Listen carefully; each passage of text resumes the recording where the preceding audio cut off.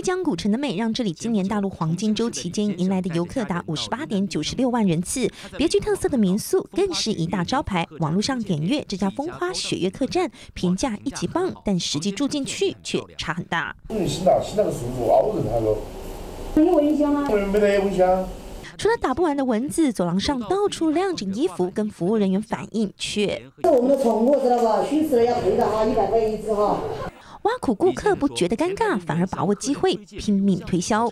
住了起码二百八十两个小时左右，一百八十一个小时左右。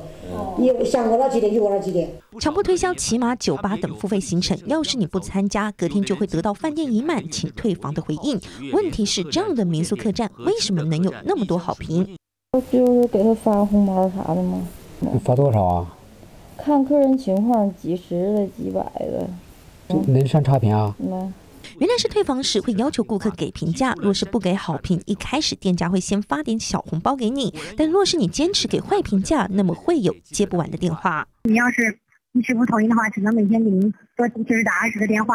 大陆央视记者给对方打差评，结果一天内就接到二十几通电话。虽然大陆的相关法规明令禁止虚假宣传，但利益当前，商家们似乎也没在怕。金佩瑜综合报道。